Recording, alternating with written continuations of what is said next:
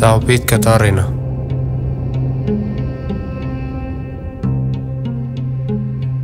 Mun nimi on Makvan Amirkani. Mä sain nimen Makvan vuoren mukaan. Kun meidän viereistä kylää pommitettiin, lähdettiin perheen kanssa pakoon.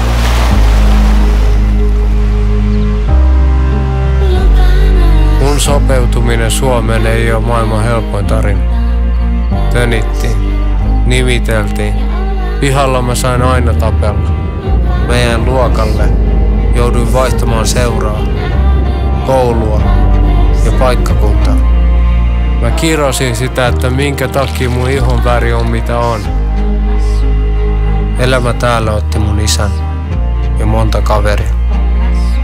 Ja mun äiti pelkäsi, että mä selviin. Onko mä halunnut luovuttaa? Kyllä.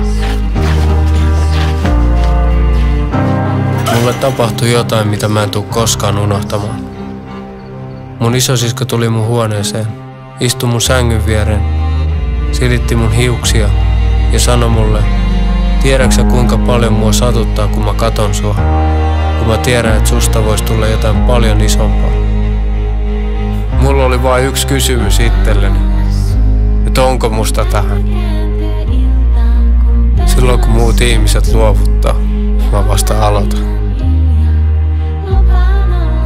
Mä olin kiitollinen siitä, että mun perhe on turvassa. En mä voisi ikinä kuvitella toista kotipaikkaa kuin Suomi. Mä kuulun perheeseen, missä rakkautta ei piiloteta.